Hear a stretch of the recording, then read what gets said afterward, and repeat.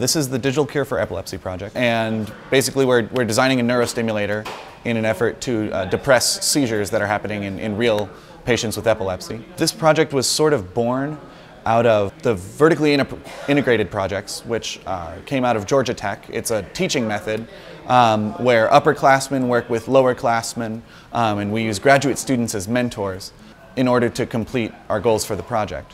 This year we came in with, with an algorithm that was uh, very good at predicting seizures that we created. Using this machine learning algorithm, uh, this year we tra basically transferred it to uh, hardware, real hardware that can run real patient data in real time. As a broad overview, what our system is trying to do is predict and prevent seizures in real time. So the first stage of our system is to record neural activity from the brain. So we have these little devices called um, intracranial electrodes that can record electrical activity that's going on in the brain.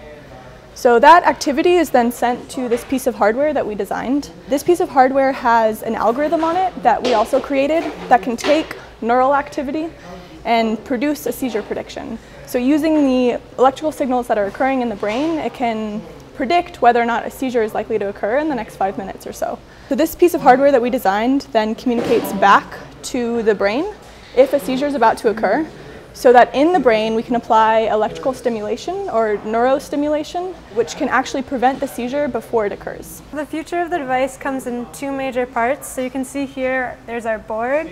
And so the board looks really big, and that's going to become a chip that's uh, implanted on the skull. And so for size reference, it would be about this size. So you can imagine it would be this chip plus a battery, and that way you could replace the battery whenever you needed without having to do any kind of surgery.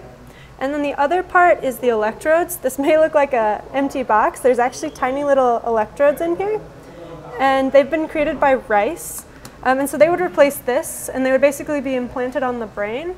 And they would communicate wirelessly with the chip that would be sitting on the skull. And so that would be our whole communication system, is they would just be communicating back and forth wirelessly.